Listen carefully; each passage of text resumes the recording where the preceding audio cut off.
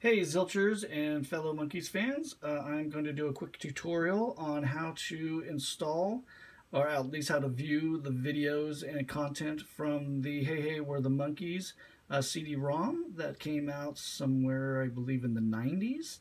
Uh, if you look on this, it says it's for Win and Mac. This is for Windows 10. Is what I'm using, but you should be able to do this on 7 or you know XP.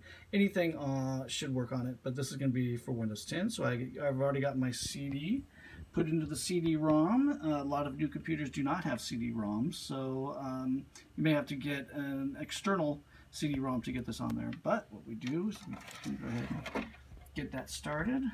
Up here, oh, look at that brightness. I have already got my uh, Windows up. Right here is where it's going to pop up. So I'm going to right click on this. I'm going to go to open. And this is going to have all the uh, video files, everything that is on that. What we're looking for is here under support and then under video.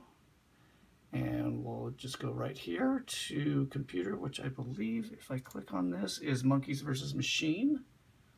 What I do is I right click. I'm going to go open with. This will choose the program I want to open with and I'm going to watch it with Windows Media Player.